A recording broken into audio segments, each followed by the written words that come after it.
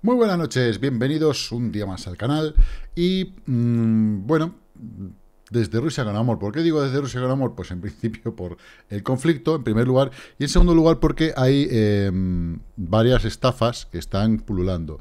A un amigo mío le acaban de soplar 350 pavos, bueno, fue ayer, en, en mil anuncios, de la forma más tonta, de la forma más tonta.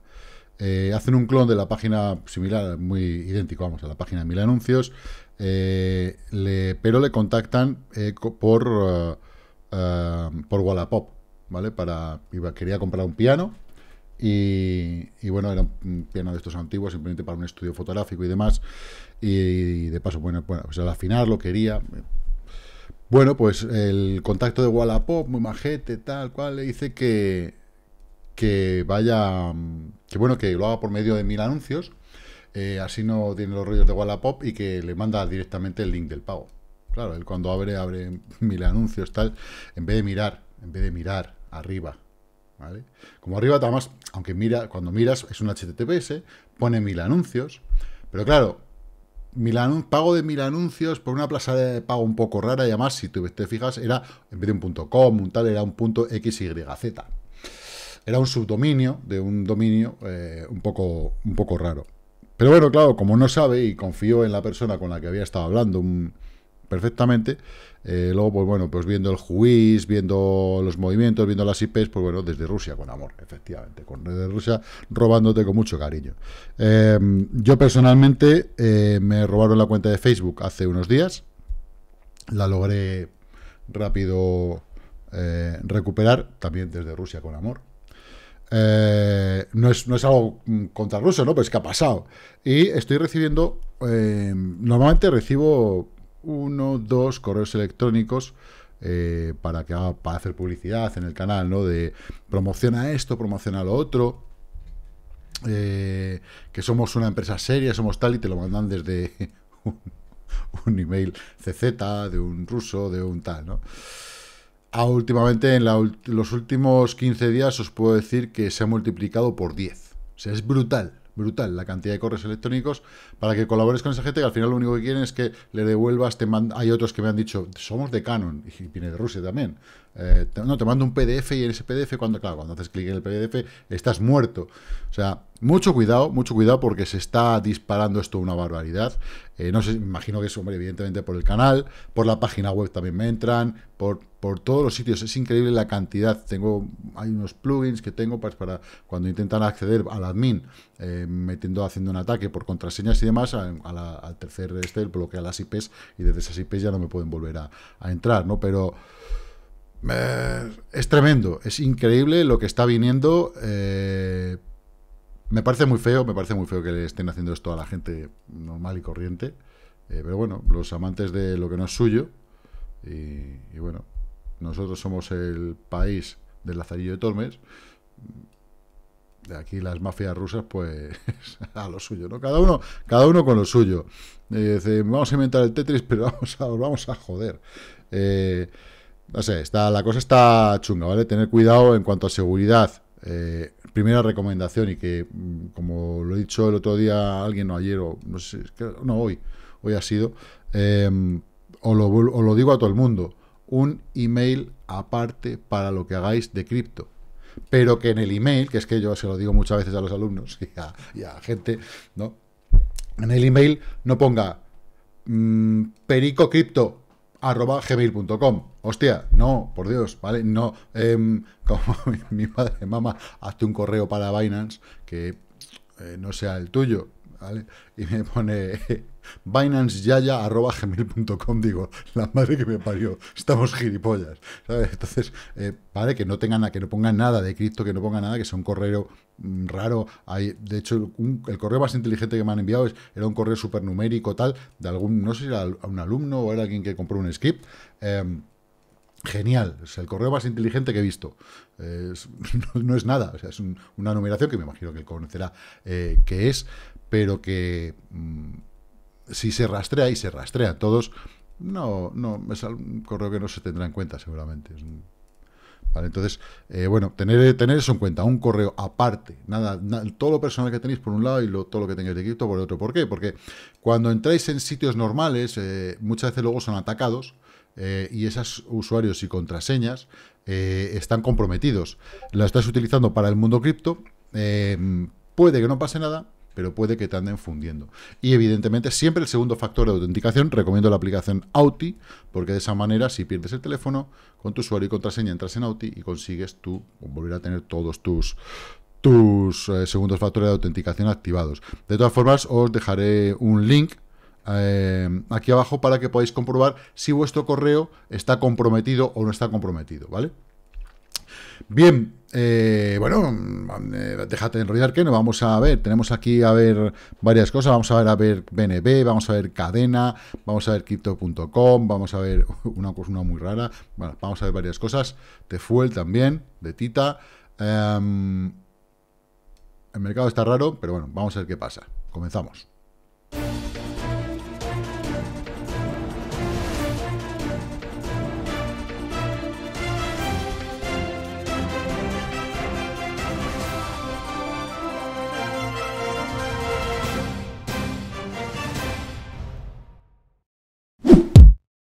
Suscríbete y dale a la campanita.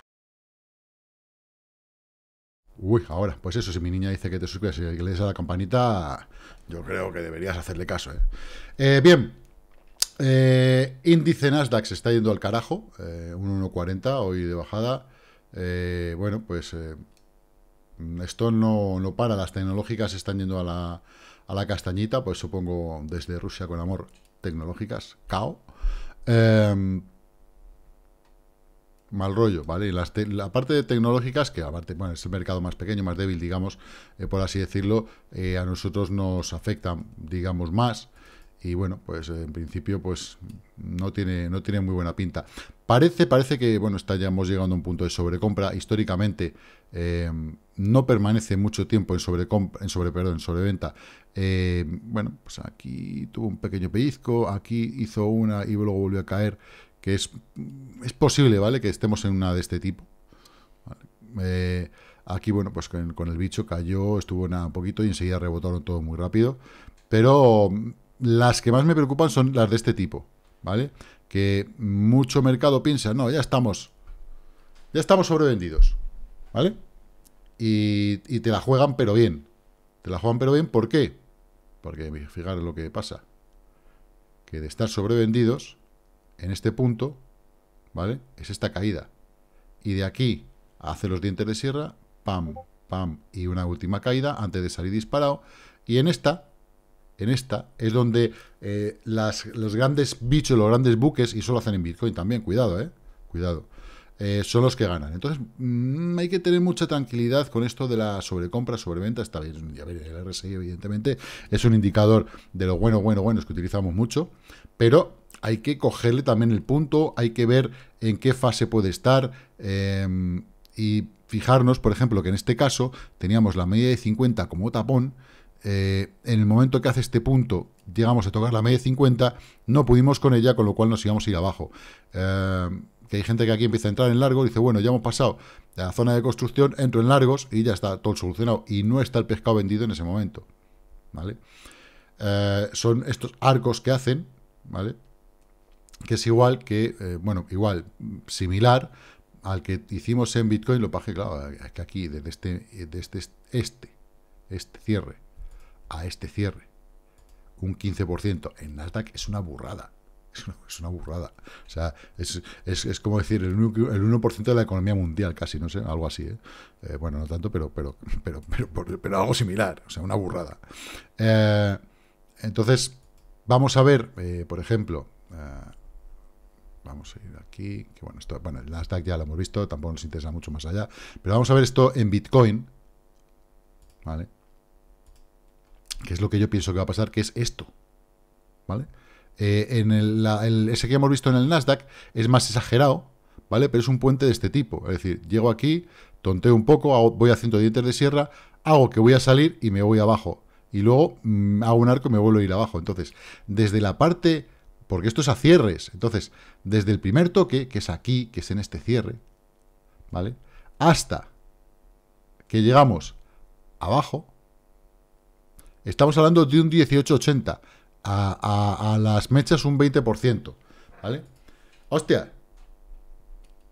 Uy, hostis. un 20% de caída todavía aquí. Que yo creo que sí lo vamos a tener. Pues evidentemente, bueno, vamos a mi Rose Line. Dios mío, ¿vale? 28. Yo lo digo porque es lo más normal que pase. Ya hemos estado viendo estos días lo que yo espero y lo que quisiera también que pasase es este movimiento. Me hubiera gustado que fuese más arriba. Si tontea y se va más arriba mejor. Pam, pam, pam, pam, pam, pam, pam. Aquí hacer ya el arquito y terminar. ¿Vale? A partir de ahí ya nos vamos, mm, bueno, no así, pero recordar que mientras no tengamos un velón de salida, un velón de escape, no vamos a hacer nada. Una vela que abrace a otra en condiciones, no vamos a hacer nada, ¿vale? Eso tenerlo claro.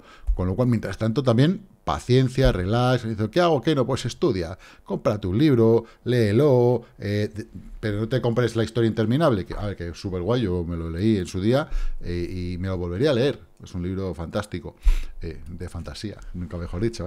Pero em, en vez de Bastian y el dragón, pues vamos a intentar aprender cosas sobre el mercado, cosas sobre inversiones. el este, año, que es este año invierno, cripto, eh, crisis económica, eh, muchas cosas que se están juntando con una crisis bélica, eh, mm, vamos a ver. Creo que hay que aprovecharlo para eso, porque vamos a estar seguramente más parados, intentaremos los, los movimientos que haya latigazos, intentaremos aprovecharlos. Digo intentaremos porque no vamos a poder adivinarlos todos, eso seguro. Pero bueno, como tenemos ahí varios indicadores que sí nos dicen cosas, pues Vamos a, a ver, ¿que desde donde estamos podemos salir disparados? Por supuesto que sí. ¿Que también podemos caer bastante más? Por supuesto que sí, ¿vale? Em, ahora bien, de momento estamos cumpliendo con, igual que aquí, hicimos el primer toque, ¿vale? Me repito, hicimos el primer toque a esta línea verde que iba cayendo, caímos, hicimos el primer toque, llegamos a la puerta y luego ya bajamos y lo volvimos a pasar, ¿vale? Que fue esta primera fase y ya lo pasamos con esta subidita, ¿vale? Luego bajamos el precio, pero estuvo en el mismo sitio prácticamente, y ya en ese momento nos habíamos apoyado por encima de la línea descendente. Entonces, eso es lo que tiene que pasar aquí. Bajamos, luego tenemos que subir, apoyarnos en él para la esta principal, ¿vale? Porque esta es la de bajas, que es la que estamos viendo, eh, esta principal, tenemos que pasarla y apoyarnos en ella también. Entonces, eh, y todo eso va a hacer que el precio siga cayendo, ¿vale? Siga hacia abajo. Entonces, mm, bueno, que lo dicho, que podemos rebotar desde aquí, por supuesto. Ojalá, pues ojalá. Pues, pues, pues, pues ojalá, claro, nos ha jodido, pero yo no lo veo. Sigo sin verlo. Todavía no he visto nada fuerte, no he visto nada eh, quitando esta vela, que es la que a mí más me ha gustado, la más potente de todas. El resto no ha cumplido absolutamente nada. Eh, de momento todavía estamos también aparte con el trago de ayer, toda la resaca que hay en los mercados, eh, que siguen descontando cosas o disimulando, haciendo que, que siguen descontando cosas. Entonces, relax, hay que tener ese punto de paciencia, no pasa absolutamente nada. Que has entrado en 50, no pasa nada. Que has entrado en 55, no pasa nada. Que has entrado en 65, es una putada, pero vuelvo a repetir, no pasa nada, es solamente una cuestión de tiempo, paciencia. ¿Que has entrado con dinero que no debías? Mm, eso ya es otra cosa, ¿vale? Pero no pasa nada, son tiempos para intentar mejorar posiciones, ya te digo, pero para estudiar, para estudiar, ¿vale? Em, que vendrán movimientos y vendrán tiempos en los que podamos hacer más cosas. Entonces, de momento, eh, ya sabéis que yo soy mm, hacer trading, de hacer futuros, pero hay momentos para los que hay que ser conservador, hay que ser muy flexible en esto del trading y en las inversiones en general, y hay momentos para ser conservador, y este es uno de ellos. Incluso eh, gente que está fuera del mercado, que está diciendo, bueno, pues si baja un poquito más puede comprando, no está fuera del mercado, se ha comprado aquí, ahora ha comprado aquí, sí que hay que comprar ahí, poquito a poquito, bien, ¿vale? Bien. Mm, ¿No tienes nada? Pues empieza despacito, despacito, ¿vale? Muy despacito. Eh, evidentemente, cada uno toma sus decisiones, pero el equilibrio de cartera es súper importante. El equilibrio de cartera es súper importante. Y no puedes tener un 70% de altcoins y un 30% de Bitcoin. Eso es una gran cagada, porque vas a morir. Las altcoins van a seguir bajando, eh, mucho más que el Bitcoin. Acordaros lo que os digo, va a haber altcoins que van a despedazarse. Eh, y si tienes algún altcoin que sea de las principales, digamos Ethereum, digamos BNB, digamos eh, un Ripple, ¿vale? Eso es lo que yo hago. Luego cada uno haga lo que le salga de mí, no como siempre, evidentemente. Em, y como tengo un cuñado y un amigo que me recomienda tal y en la web dicen que no sé qué y este tío que es la pera dice que no sé cuánto, pues allá cada uno. Luego vienen las seis madres mías. Bien, eh, en cuanto a la dominancia, ¿qué ha pasado con la dominancia hoy? Pues bueno, pues otra vez para arriba. Bitcoin baja, dominancia sube. ¿Qué pasa con las altcoins? Pues ahora lo vamos a ver. Según esto, un diario. Bitcoin baja. Dominancia sube. ¿Qué dice nuestro panfleto? A ver si lo habéis aprendido. Yo no me lo he aprendido La verdad es que no. Entonces, la dominancia sube y Bitcoin baja, las altcoins bajan muy rápido. Vamos a ver si eso es verdad. De momento, en nuestras acciones tokenizadas, eh, el único que estaba un poquito positivo era eh, eh, Zoom, que estaba bastante positivo hace un rato, estaba en la EMA 20, imaginaros, y de repente ha hecho cataplum, porque han hecho todas las tecnológicas cataplum. No sé si Apple habrá dado ya los resultados, pero que sí, porque de momento está subiendo 1,91, entonces, o lo está dando, se esperan muy buenos, pero fijaros Zoom lo que está haciendo. Esto es un ostión brutal, porque estaba un 13%, estaba en un más 7 hace un momento, ¿eh? O sea, fijaros que, eh, mira, ¿veis? EMA 20, 8% prácticamente, está un poquito ahí, 7 y pico. Y ahora de repente, plaf, hostiazo with de flor. Ahora sube.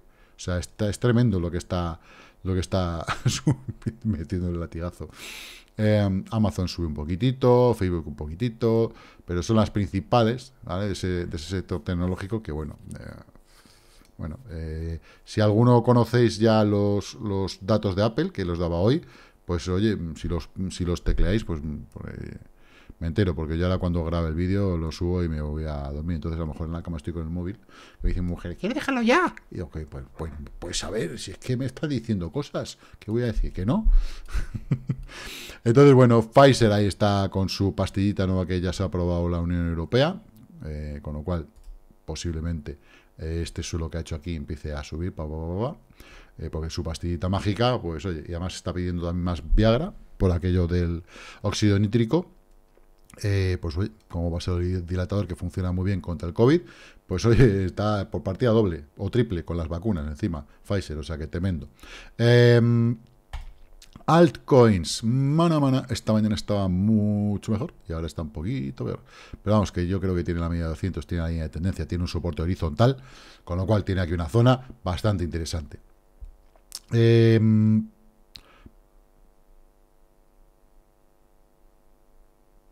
Ganadores perdedores. Primero. Bueno, los perdedores, los SLP, siguen sufriendo una burrada, no paran de caer. Esto es el infierno. Para que veáis, ¿vale? Para que veáis cómo sí se puede caer una burrada. Fijaros que desde este soporte de mínimos que decíamos, joder, si aquí rebota una falsa salida, tira para arriba, sería genial. Pues desde ese momento lleva un 82% de pérdida.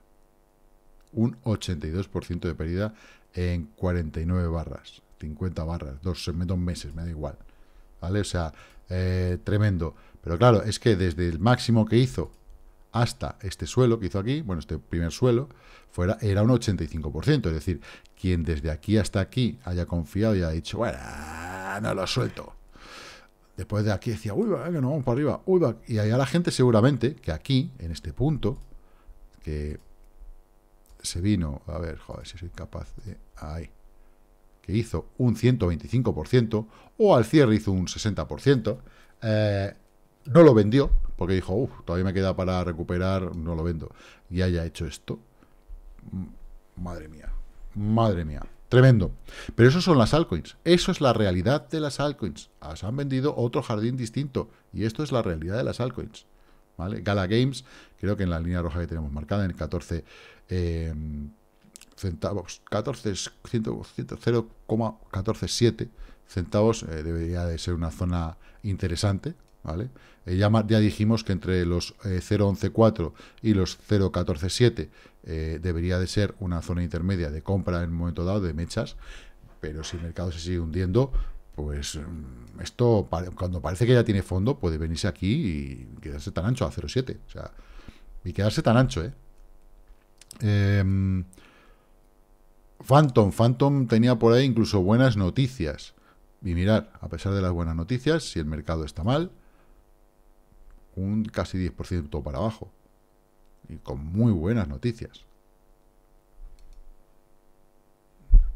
Como el Capitán Defi, pero nada. Es, ni eso hace que se recupere. Y es una, una cripto, es un proyecto que está ahí, que, que es real, que está funcionando. Debería. ¿Mm? Pues no, pues no. En el lado positivo, ¿qué tenemos? ¿Tenemos algo? Pues sí, pues claro, siempre hay algo. Bueno, Ethereum, que bueno, ya sabemos lo que hay, eso es una locura. Eh, Sand, 658, está intentando y recuperar esta zona de, soporte, como que la tiene como resistencia otra vez. Tita, bien, haciendo su vuelta, a ver si sigue así. Uh, Ecomi, que siempre me equivoco con Omisego. con el OMI, pues digo, ya OMI, ya está. Eh, bueno, ahí está, intentando llegar a esta zona de resistencia. Si la pasa, pues seguirá volando. Boson Protocol, 4,5, muy bien. Um, block, hombre, un 4% en block. No, lleva unos días bastante majete. Yo, sinceramente, es que eh, como lo tengo para Hall, y bueno, todavía más lo tengo en beneficios, eh, no, no, ni lo miro. Es que ni lo miro. O sea, no, me preocupa. Um, em, ANKR bien, Maker, bueno, Shiba Dodge, el Shiba Dodge. Aquí tenemos la moneda de FTT, de FTX, muy bien, Basic Attention Token, bien. Basic Attention Token suele ser eh, un, un indicador, ¿no? En general del mercado y la verdad es que, bueno, pues con la subida de estos días también está funcionando. Puede ser bueno. Eh, y bueno, pues ya tenemos mm, beneficios muy pequeñitos. Vamos a ver mm, cosas que habéis pedido. Vamos a ponerlo aquí en orden alfabético para mm, ver el, CRO, crypto.com, que lo ha pedido Brian, eh, que lo vemos muy a menudo, Brian. O sea, es decir, ahora mismo sabemos que tenemos un soporte justo en el TP1 que está justo además con la media de 200 que está en este momento, a partir de 0.32 hasta el 0.36, ¿vale? Es el soporte, esa zona de soporte por el, TP1, ¿vale? El take profit o objetivo número uno de viene de esta caída, ¿vale? Esta caída, si le marcamos nuestro querido FIBO tal y como lo tengo concebido, ¿vale? Ves que me voy aquí del mínimo al máximo, ahí, ¿vale? De este mínimo que hizo a este máximo, esta caída, ras, tenemos un objetivo 1, objetivo 2, objetivo 3 y objetivo 4. El objetivo 2 está un poquito movido, pero bueno, es que también está movido este. Eh,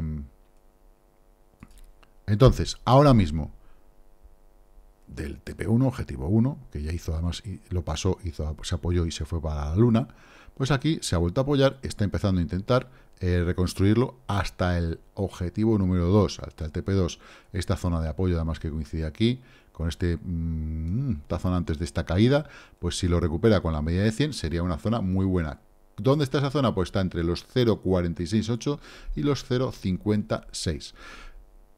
Ahora, mm, no sé, tal y como está el mercado, confío más en que esta, la línea de tendencia descendente le haga de tapón y lo mande otra vez para abajo. Y bueno, pues que a partir de aquí también podamos marcar un canal paralelo. Si lo queremos marcar al principio desde los cuerpos, ¿vale? Puede ser, pero mm, posiblemente toquemos en algún momento esas, por lo, por lo menos desde esta, ¿veis? De esta mecha, esta mecha, además nos sale bastante más paralelo, bastante mejor, eh, pues mm, posiblemente vayamos a probar que esto, si esto es un fallo hacia arriba, vamos a irnos aquí, si esto es un fallo a la parte superior del canal, nos venimos otra vez a la parte de abajo, ¿vale? Este movimiento. Ya veremos, a ver, a ver si es capaz de darse la vuelta y tocar y ya fallar aquí, apoyarse en esta zona, si, hace este movimiento, eh, ahora viene, sube, viene esta zona, se apoya como buen apoyo, ya falla la parte inferior, tira arriba, lo más probable es que en esta zona pudiera romper y subir. ¿Vale?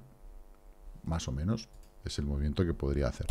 Eh, si, se cumple de esa manera, claro. Si no, pues nos iremos aquí abajo, a la media de 200, pan, y ya rebotaremos después. Eh, esto en cuanto a crypto.com. ¿Qué pasamos por aquí? Spell, Guillermo, no me Spell, que es una cosa muy rara. Yo no sé, yo no creo que la tenga por aquí, no me suena de nada, vamos. Eh, no, no, decía yo, no, sé, qué es Spell, no tengo ni idea. Spell. Spellame, Spell Teterus, aquí, aquí está. Uy, va. Spell Teterus. Eh, pues, ¿qué quieres que te diga, Guillermo? o sea, ¿estás pillado? Pues no, estás muy pillado pues 35% y para abajo, si no lo has vendido ya, eh, no lo vendas, evidentemente. Si no lo has vendido ya, no lo vendas. ¿Puede bajar mucho más? Sí. Esto es, ahora mismo. Has cogido un cuchillo y debajo tienes mantequilla y está atravesándola. Chuf. Mm, además el cuchillo está caliente. A ver, yo creo que este mercado es bastante complicado, ¿vale? Es bastante complicado. Si encima nosotros lo complicamos más, ¿vale? Eh, pues... Eh, spell. Spell token. ¿Qué es Spell token? Vamos a verlo, ¿no? yo creo que por curiosidad. Eh, pues, no, no, vale dinero. pero bueno, esto no quiere decir, cuidado, no quiere decir que no sea un muy buen proyecto y que tenga futuro. O sea, que no nos confundamos, porque lo estamos viendo como trading. Si lo quieres holdear, ¿vale? Y el proyecto es bueno, guárdalo. Yo tengo eh, eh, proyectos que valen menos que este, ¿vale? Eh, en cuanto a, este valor nominal del token, pero no me importa, porque yo los tengo para uno o dos años, me da igual. O sea, o sea y abra cadabra money. Anda, mira, pues me, me gusta. El nombre, a ver, a un año. Bueno, pues ha tenido un buen movimiento. ¿Esto qué es? El ha nacido hace poquito, claro, es que el problema es que ha nacido hace muy poquito, tiene un muy buen movimiento hacia arriba, un segundo movimiento ya descendente, y aquí pues, pues se está yendo al carajo. claro, imagino que su salida en, en Binance le hizo volar, pero claro, en Binance lo que estamos viendo es esto, nada más, solamente la caída. Eh, y está sufriendo mogollón, mogollón. No está en mínimos históricos, porque tiene más histórico, evidentemente, pero está casi, casi, casi, casi en la zona de inicio de, de, la salida de septiembre del 21 del verano. Entonces todavía puede caer bastante más, más puede, caer, venirse hasta los 0,001, puede caer todavía un 80%. O sea, ¿vale? se puede ir a 0,01 y está en 0,05, si no me equivoco, pues eh, eso sería un 80% de caída más extra. ¿vale? Eh, a lo mejor no, pero claro, ese es el problema de eh, un proyecto nuevo.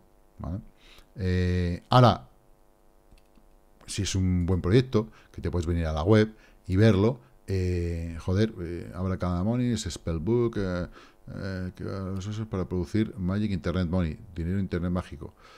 Hombre, si a mí ya me empiezan a hablar de que vas a producir dinero mágico en Internet y tal de esta manera,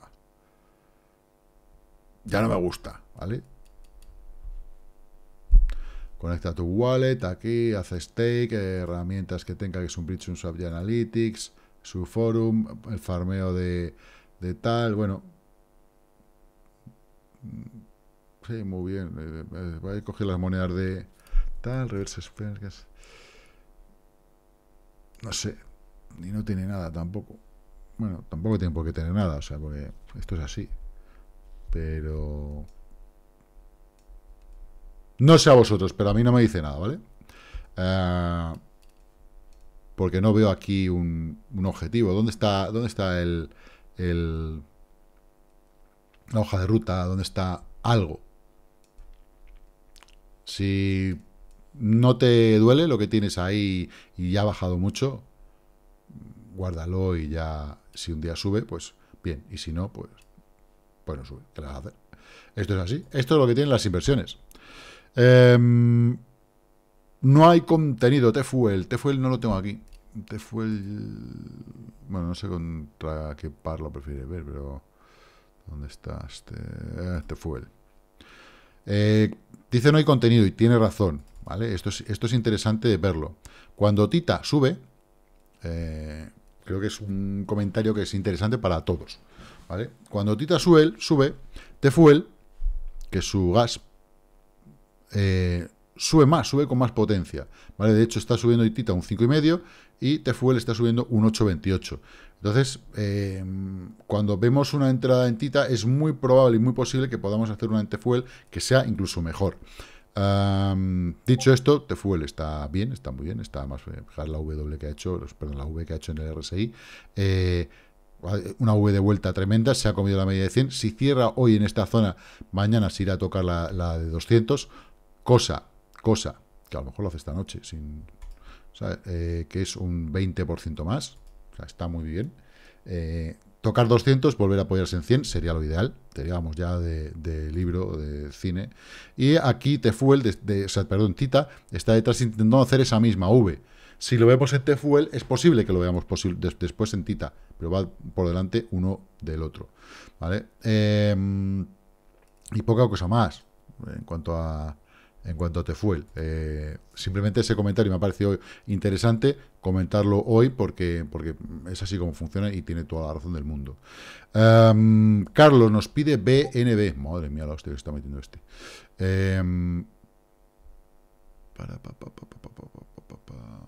BNB. Hoy ha bajado un 1,5. Eh, sigue en esta zona de este Take Profit 1, de este objetivo número 1, con este solo que hizo aquí.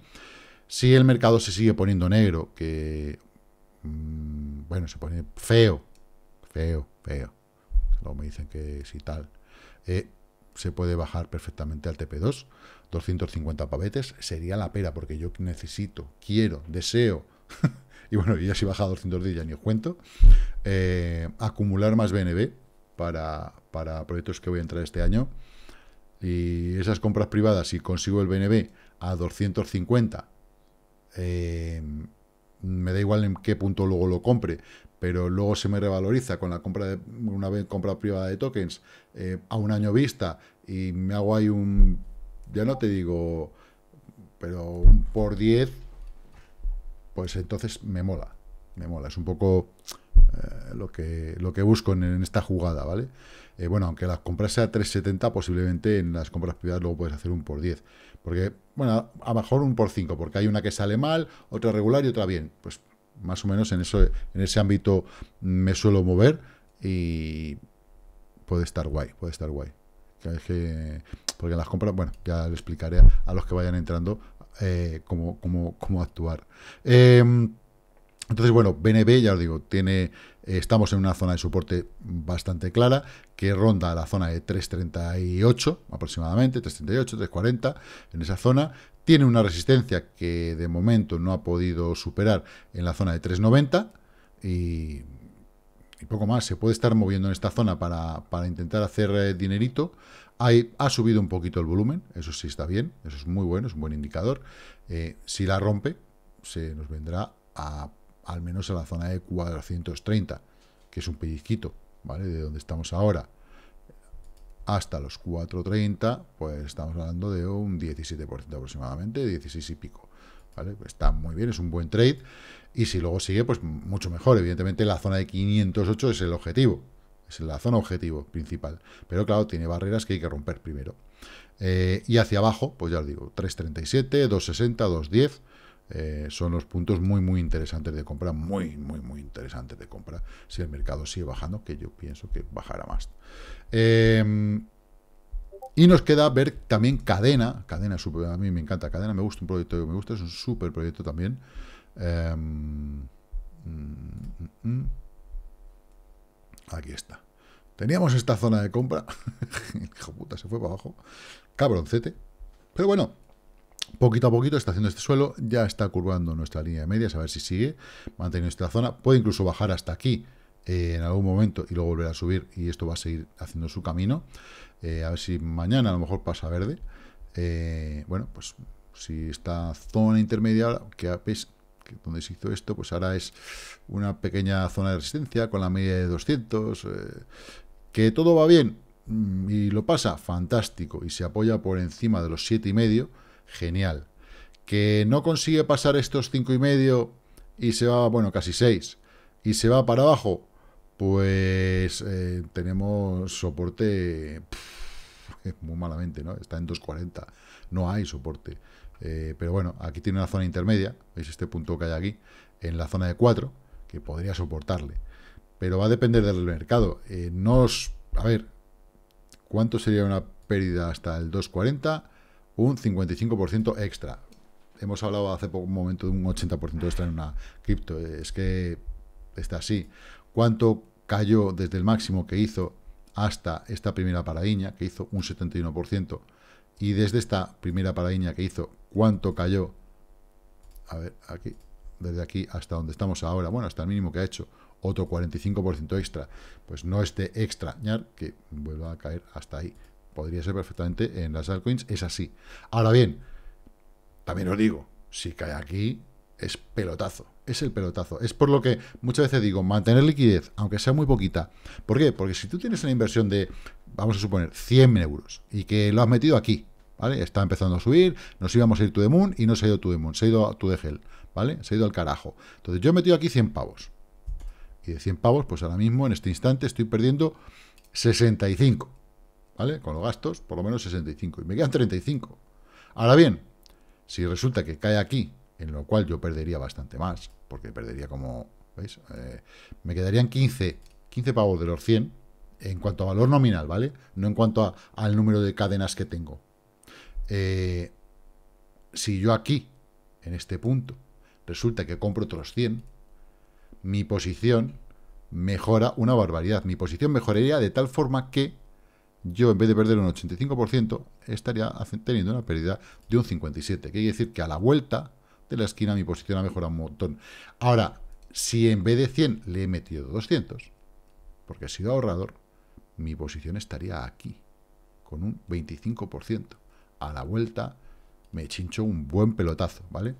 Por eso, cuando digo comprar eh, escalonado y vender escalonado, vender escalonado para recuperar liquidez cuanto antes y comprar escalonado para intentar mejorar la posición. Y escalonado también en la cantidad que meto, es decir, si yo tengo 100 eh, euros o 100 dólares, da igual, 100 euros dólares, dólares eh, de presupuesto, por ejemplo, Voy a entrar en cadena, ¿vale? Quiero entrar en cadena, proyecto que me gusta y voy a entrar aquí, quiero entrar aquí. Vale, yo tengo 100 pavos.